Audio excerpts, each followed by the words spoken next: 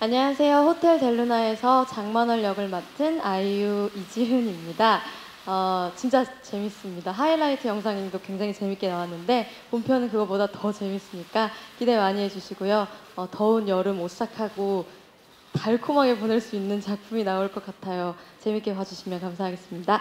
우선 나의 아저씨 이후에 좀 밝은 모습으로 인사를 드리고 싶은 마음이 컸어요. 근데 그래도 차기작을 이렇게 빨리 결정하게 될 줄은 몰랐는데 어, 좀 우연히 어떤 지인분께서 호텔 델루나라는 신업이 들어갔는데 혹시 읽어봤냐? 그래가지고 어 급하게 이렇게 찾아서 읽어봤는데 어 이 역할이 정말 나한테 들어온 게 맞나 싶을 정도로 여자 캐릭터가 아주 강렬하고 강인하면서도 그 사연이 많은 그런 캐릭터였거든요. 그래서 와좀 다양하게 캐릭터가 들어온다는 거에 대해서도 되게 감사했는데 첫 미팅 때 감독님과 작가님 두 분을 뵙고 말씀, 제가 좀 걱정되는 부분도 많이 있었거든요. 이걸 왜 저한테 주신 건지도 다 꼼꼼히 여쭤보고 했었는데 음, 두 분, 세 분께서 저에게 보여주신 어떤 확신이 제 마음을 많이 움직였고 또 작가님께서 그때 해주셨던 말이 아직까지도 기억에 많이 남아요.